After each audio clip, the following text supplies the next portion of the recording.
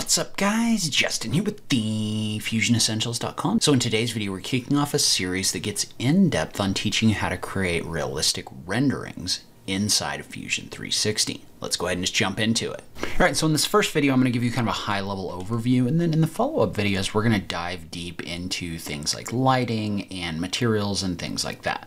But first off, what we wanna do is we want to talk about what a rendering is and how to create one. And before I even do that, um, I've got a little bit of misalignment in this body right here, so I'm going to move it up.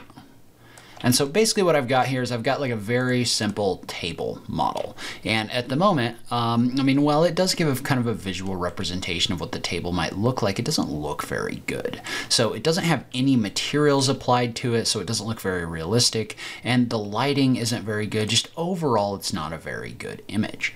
And so now we know that inside of Fusion 360, we can apply materials to objects by going into the modify panel and adding either a physical material, which is more something that has to do with the uh, properties of objects, or in this case, an appearance. And so an appearance is just going to make your object look more like something else. So if we go into appearance, what we can do is we can apply a material. And in this case, we're going to apply to the full body and component, and we're going to see what that does. But you can go down here, and there should be a library of different options that Fusion 360 allows you to download. So in this case, we're going to scroll down, and we're going to pick um, one of these wood materials. So maybe we'll pick like one of these uh, 3D maples. And so we'll pick kind of this semi-gloss. You can pick any material that you want to, and what I want to do is I just want to click and drag it onto this object.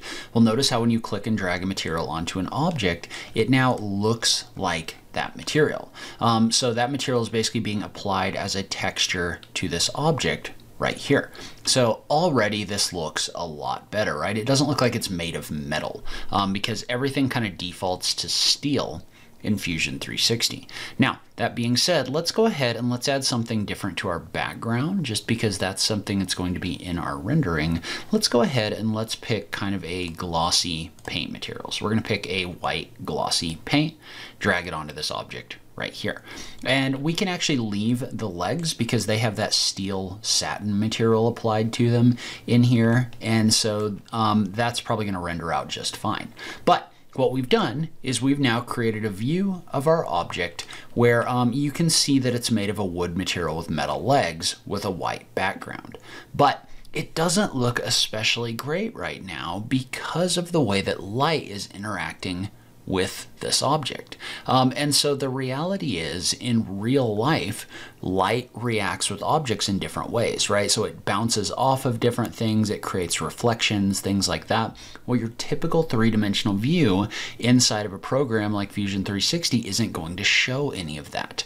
And just real quick, we're not going to mess around with the size of the material in this video. We will get into that in the future. We're just going to consider this good for what we're doing. But in order to render out an object, what we need to do is we need to jump into a different mode in Fusion 360. And you can find it by clicking the drop down right here and going into render. And so when you jump over into render mode, you're immediately going to notice that this looks a little bit different, right? So there's kind of some shadows sitting in this view right now.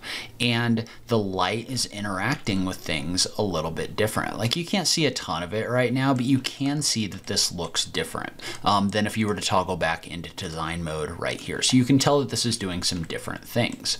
Well, what we want to do is we want to make some quick adjustments in order to create a more realistic rendering.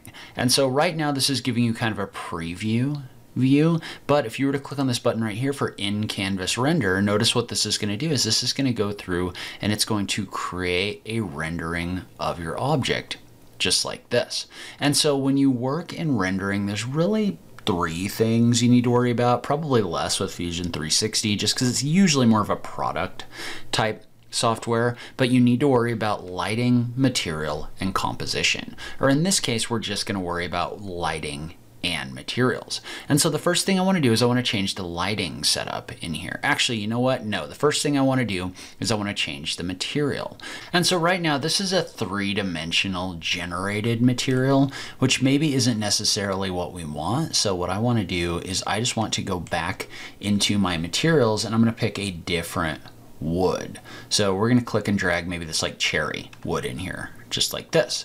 And so notice how when we click and drag the cherry in here, what that's doing is that's applied a wood texture material that's actually kind of reflective, right? You can actually see that in here. You can see that light is reflecting off of this. Now, one thing that we might want to do is we might want to change the direction that this material is facing. So in order to do that, what I'm going to do is I'm going to change this to apply to faces.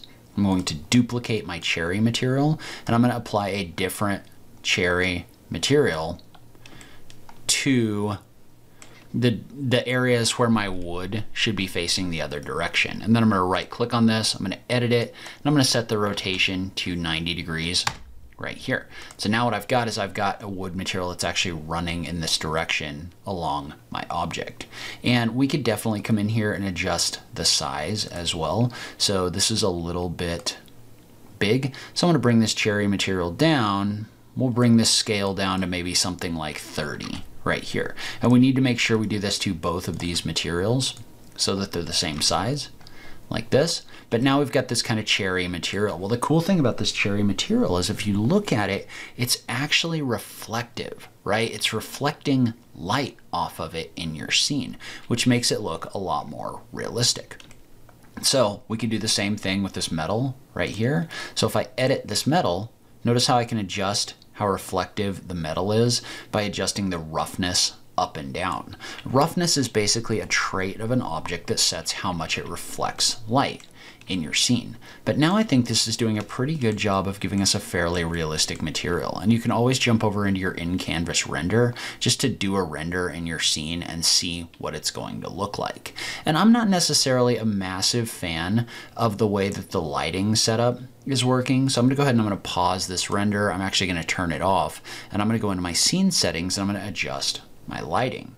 So right now, for example, I feel like the light is super bright and it's just not really giving me very interesting light, right? It's just kind of uniform and super bright in here.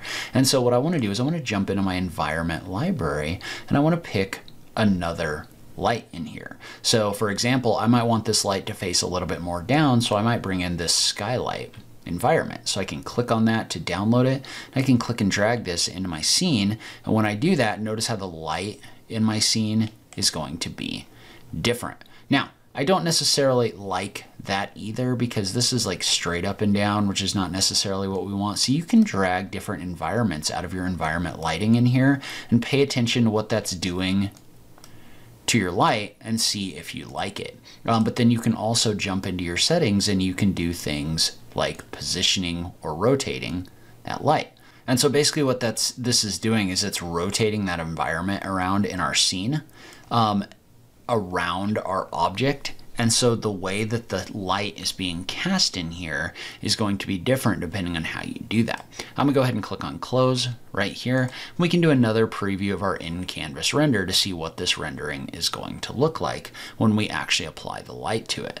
And so if we zoom in a little bit, you can kind of see what that rendered image is going to look like using that in-canvas render right here. And so we can keep playing around with those settings, but in general, what we're doing is we're just kind of setting up our lighting um, until we get a look that we like right? So I've got this in here and I think it's pretty close. Um, you could always come in here and make additional changes to your environment. So things like making your background brighter, right? You might bring this down to something like 500 and it might make your lighting a little bit more interesting. Um, but we can go ahead and click on close right here. I'm going to toggle this body back on and say I wanted to create my final render right here. And I'm maybe going to adjust this a little bit right here. But now I want to create my final render. Well, what you can do, but then once you've saved this, you can click on the render button in order to create a rendering in here. And you've got options in here to do this with the cloud render or the local renderer. So the cloud one is going to happen in the cloud. The local is going to happen on your machine right here. Note that there's a standard render quality and the final render quality. The final render quality actually takes render tokens, I think is what they are, so you have to pay for those.